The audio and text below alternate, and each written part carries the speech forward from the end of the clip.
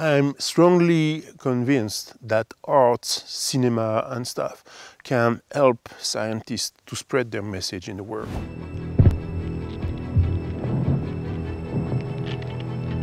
At that time when the truth can be discussed, when the truth can be arranged, I think science is the best way to go on the rational aspect of the world.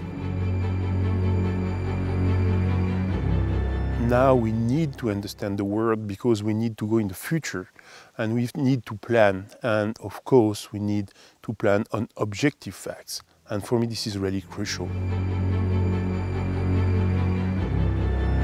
I feel now a lot of scientists very depressed because they are working hard to, to produce knowledge, to produce papers, to produce science results. And it seems that nobody wants to hear them political people and the society. And for me, this is absolutely important, maybe to make the bridge between science and the wide public, because the problem is maybe scientific used to talk together with their own language. And for me, the most important is to help people to understand the science language.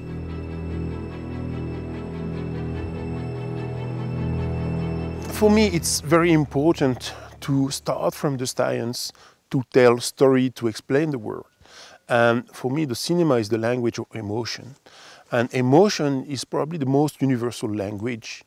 And maybe it's the best way to avoid the scientific complexity, the scientific language, to go through the earth of the people. Because now I think we don't need rational fact. I would say all of the people now in the world knows that there is something wrong in the world and we, are, we need to do something for our future. Now we have to find the keys to open these kind of doors to help people to engage themselves in the future. The poles are very special in the planets because if we are talking about the South Pole, this is the only place on the world which was not colonized by human, means is still resistant to human presence. North Pole is something different because this is basically ocean, this is not a continent as you know. For me, because these places in the world do not belong really to someone, maybe we can find like a universal tribune to talk to the world at that point.